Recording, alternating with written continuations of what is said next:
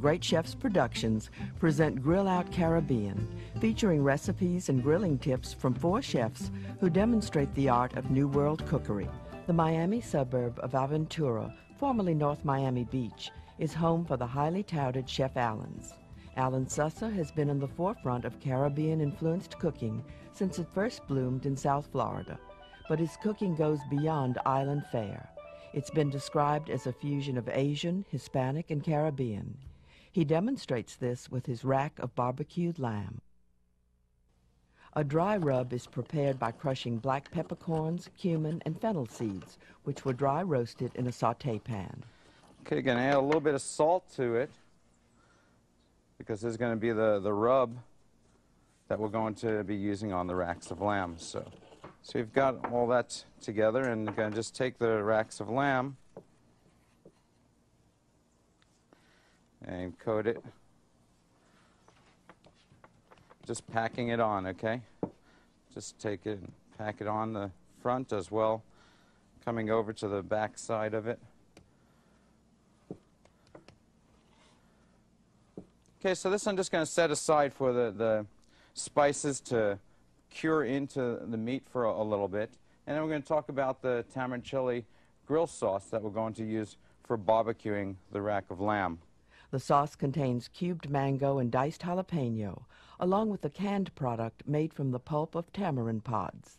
Tamarind is the principal flavor of Worcestershire sauce. Okay, you're going to put in the, the tamarind pulp that, uh, that I was talking about earlier.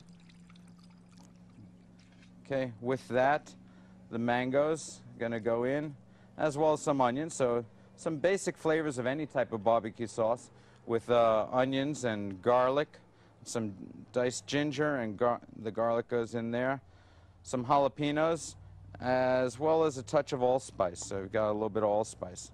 Allspice are these, uh, these whole berries here, also very much of a, a Caribbean flavor uh, with that. The whole ginger that I diced and put in, as well as some of the jalapenos. Okay, that just going to mix up because this is also a, a one-pot barbecue sauce, which is real nice for it we're going to do to, to enrichen it uh, is going to add a little bit of molasses to this. Okay, you get that nice deep color from the molasses, as well as some red wine. Because uh, again, when you're, you're, cooking something like a, a, rack of lamb, you want that full flavor uh, with it. So we're going to add in the, the red wine, a little bit of salt into it. As well as some red wine vinegar. Okay, so a wonderful balance. And then, again, using a little bit of more tropical flavor with it, a little bit of orange juice added into that to give it a, a depth and a balance of that uh, sugar and acid that we want to put together. Okay, this is going to go onto the, the stove for about 20 minutes to a half hour to reduce. Going to take that and then strain it. Put a little bit of olive oil on to the rack on each of the racks. And going uh, again using the, the indirect uh, method on this, but this side I'm going to take and put right onto directly over the heat to begin with. Okay, both uh, both racks on either side. We've got the the charcoals on, on either side. This way it sears the sears the flavor, caramelizes it a little bit, and that's what I love about the using a rack of lamb on a barbecue is because it gets a nice carameled flavor, uh, which really intensifies the whole lamb experience. So we're going to just let that roast there for a moment, searing this side. We're going to then take it and turn it in just a moment. And start to see a little bit of caramelizing there. Going to let it cook a, a little bit. Just going to close this up for a moment and get some heat.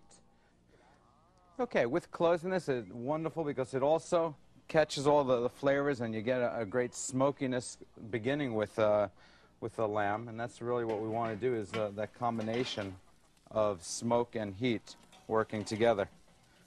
Okay, as you can see, it starts to, starts to brown in that fashion. And then going to turn this over.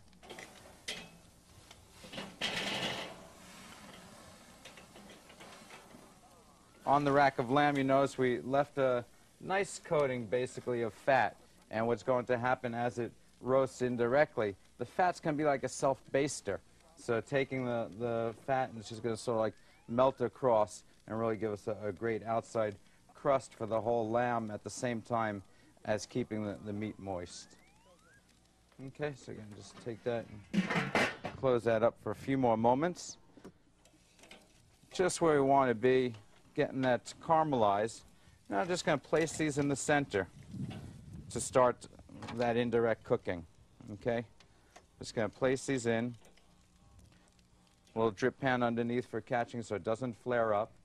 And going to close it up and just let the, the barbecue do its work. After roasting for a while, the lamb is coated with barbecue sauce. Okay, after letting this barbecue for about 15 minutes on indirect heat, to open it up. You can see it really starts to get nice and roasted and the fat's starting to reduce. To baste this so we start to develop the, the flavors with the, the barbecue sauce on this. This overall is to take about 25 minutes, so what I want to do is really get, uh, get a nice flavor throughout. So just taking it all over the meat on the sides, throughout like that, okay? So just a nice coating of it. The tamarind chili really works very well with a rack of lamb. I'm Going to take this and close it back up because that's the idea with the indirect heat. You want to be able to make this almost like an oven outside on your barbecue. So by closing it up, the indirect heat gives us all of that heat and flavor together. The racks were brushed with sauce one more time before the roasting is finished. So about 25 minutes later, uh, we're about done with this. It's actually roasted about 350 degrees in the indirect heat in the barbecue. You're going to take it. You can see the wonderful flavors and colorations of it. What we're going to do is just let this rest for a moment okay? Because what happens with a, a, rack of lamb or any meat, even a, a nice thick steak, uh, if you take it and slice it directly right off of the heat, it tends to bleed out, and then you'll have actually, though you've gone through the whole process, you'll have a tough piece of meat. So letting it rest for a few minutes is very important.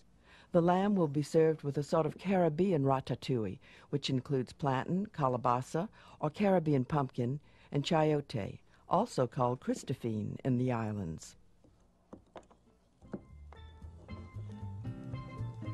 And we've got some beautiful chops with the rack of lamb. What I like to do is just take it, place it right on the Caribbean ratatouille, and then a little bit of garnish with a nice piece of rosemary sprig for that.